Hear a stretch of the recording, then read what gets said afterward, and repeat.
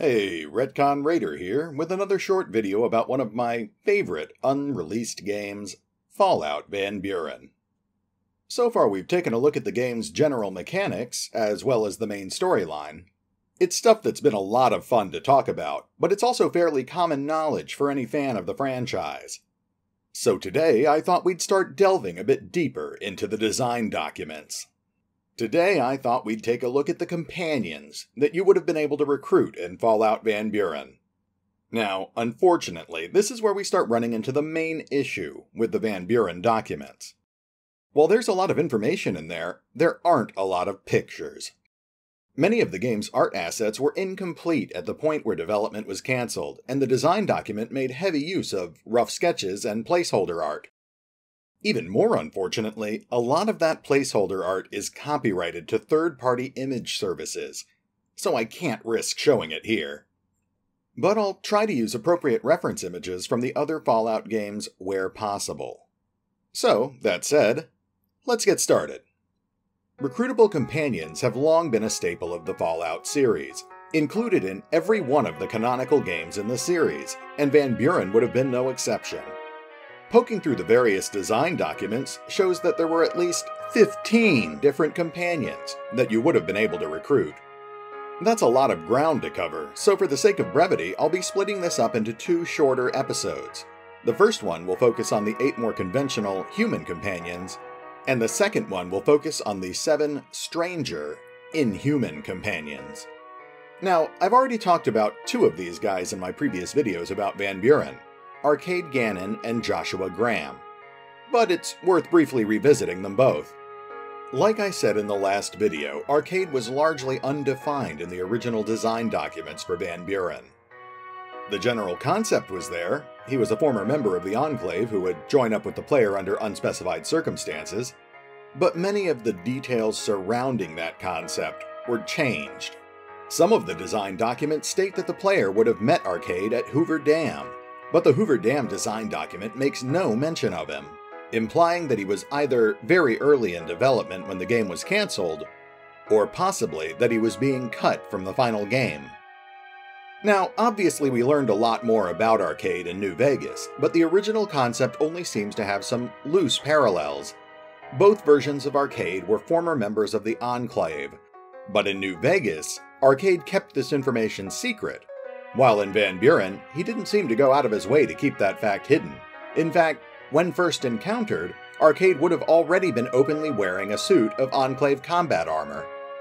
In addition, in New Vegas he was a talented doctor, but in Van Buren, there was no mention of him having any medical skills at all, only science skills. In New Vegas, Arcade was linked with both Caesar's Legion and the Followers of the Apocalypse, but there was no mention of Arcade being affiliated with either of those groups in Van Buren. Though the Denver design document does mention that he was hanging around with the followers and possible NCR ties. The occasional references to him often note how his high science and repair skills can benefit the player, particularly in Burham Springs, where he can help with identifying and repairing pre war technology. Next, let's take another look at the Hanged Man, Joshua Graham. Van Buren would have featured characters from all over the karmic spectrum, and Joshua would have fallen squarely in the evil category. He was planned to be one of the strongest recruitable companions in the game, but this would have been offset by his bad luck, his bad reputation, and his murderous attitude. Not only would his mere presence immediately sour relationships between the player and the local tribes, but Joshua would have had the jinxed trait, causing everyone around him, including the player, to suffer more critical fumbles in combat. As I stated in my previous video, Joshua's backstory is kept largely intact in New Vegas, though his personal perspective on it is altered. He was still a former high ranking member of Caesar's Legion who just barely survived an execution attempt after a disastrous battle against NCR forces. In New Vegas, he was lit on fire and hurled into the Grand Canyon after failing to capture Hoover Dam. But in Van Buren, he was instead hung by the neck after the Legion suffered particularly heavy losses while capturing Fort Aradesh, later known as Fort Abandon. Originally, the developers had intended for Caesar's Legion to play a larger role in Van Buren, But as development moved forward, they drastically scaled back the Legion's presence, instead, opting to set them up for a more prominent appearance in the sequel. Joshua Graham would have served as a large potential source of information about that impending threat. And speaking of the Legion, that brings us to our next companion Alexandra, a bounty hunter employed by Caesar's Legion. The player would have encountered her as part of the main storyline while hunting down the other prisoners who had escaped from the Tibbets facility. One of those prisoners, a super mutant named Blackjack, would be found in a blind canyon outside of Mesa Verde, where he had already been cornered by Alexandra. Alexandra would have initially been presented as an obstacle. She was intent on capturing Blackjack and turning him over to the Legion for use in their gladiatorial arenas. And she had no real interest in letting the player steal her bounty. The player would have ended up having to either negotiate with her, trick her, or kill her to continue their main quest. They could cooperate with her and help her bring Blackjack to the Legion camp in Denver, but that would be counterproductive because it would make it even harder to get Blackjack back to the Tibbets facility. But if the player cooperated or negotiated with Alexandra, there was a possibility that they would end up being able to recruit her, as long as they could prove it would be worth her while. From a story standpoint, Alexandra was portrayed as a cynical survivalist who had no empathy for people who relied on others to handle their problems. She would be a potentially useful companion with moderate special attributes and a focus in firearms, medic, and outdoorsman skills. But she would give the player a hard time if she felt that they were being too charitable or altruistic. Her cynicism, at least in part, would eventually be revealed to be a result of her backstory. Raised in the Mormon city of New Canaan, she ran away from home after a vicious argument with her parents, only to later find out that her entire family had been murdered by the refugees they had been trying to help. She subsequently forged a life for herself as a caravan doctor and then later as a mercenary for hire. But bringing her back to Jericho, the small town built in the ruins of New Canaan, would allow the player a brief glimpse of her more human side. Another prominent companion would have been Kurisu, perhaps most notable for being the sister of Sulik, one of the more memorable companions from Fallout 2. In Fallout 2, it's mentioned that Kurisu was kidnapped by slavers, and Sulik was on a quest to rescue her. This was actually a quest that was originally intended to be included in Fallout 2, but unfortunately it was cut from the final game. So instead, Kurisu was written into the design documents for Fallout Van Buren, where she would have escaped from the slavers on her own and somehow ended up as the leader of the Blackfoot tribe. She would have been heavily involved in many of the quests related to the Blackfoot tribe, some of which were related to the main storyline. For example, one of the prisoners the player would need to capture and return to the Tibbets facility was a man named Chagas, who was one of Kurisu's rivals for leadership of the tribe. If the player resolved this quest in a way that Kurisu approved of, then she would have become a recruitable companion. We don't know what her attributes would have looked like, but it's probably fair to assume she would have essentially been a female version of Sulik, well versed in tribal lore and melee combat. Another companion linked to the events of Fallout 2 would have been Christina, who appeared in the previous game as a minor character named Chrissy. In Fallout 2, the player could encounter her as a teenage hostage being held by the new cons at Vault 15. Van Buren was written with the assumption that she had somehow survived the event, growing into an older and more capable potential companion.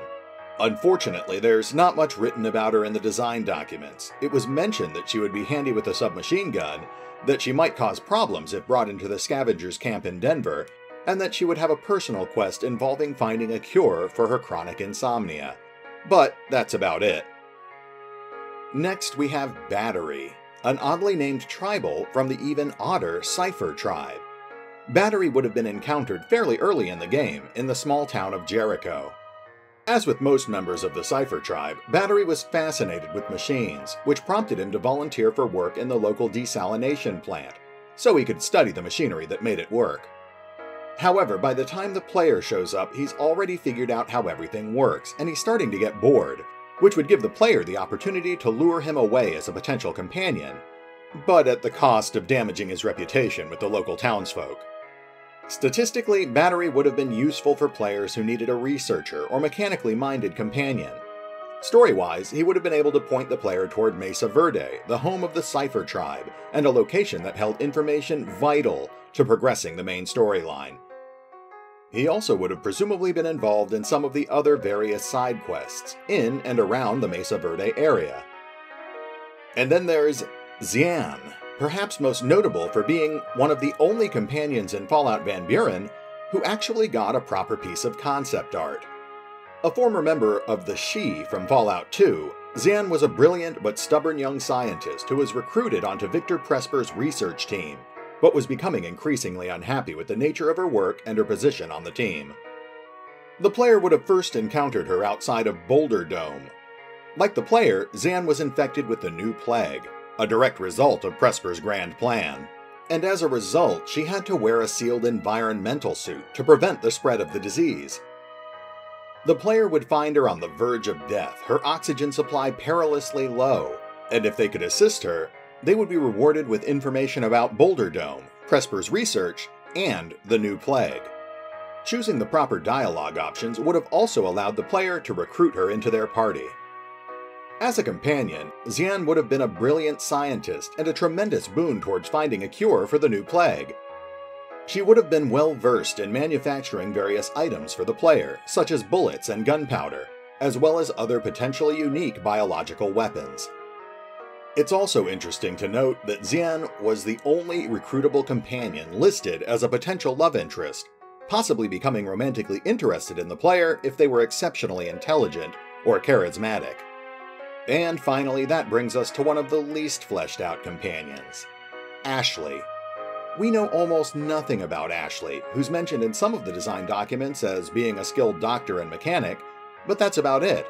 No indication is given of where or how the player was supposed to meet her, and we know nothing about her planned personality or backstory. She's mentioned in the Burham Springs document as a potential solution to their mechanical problems, and again in the new Canaan design documents as being able to diagnose a schizophrenic supermutant. But since New Canaan was ultimately cut from the later game, it's possible that Ashley was also intended to be cut from the game as well. And that's all eight of the more conventional human companions that you could encounter, and possibly recruit, in Fallout Van Buren. Next time, we'll take a look at some of the stranger companions that you would have been able to recruit, including super mutants, ghouls, robots, and of course, your loyal canine companion. Uh, kind of. But until then, this is Retcon Raider, signing off. Thanks for listening. Oh, and remember, although I do love talking about Fallout Van Buren, you can check out the hundreds of pages worth of incomplete design documents over at the Fallout Wikis. Links are in the description.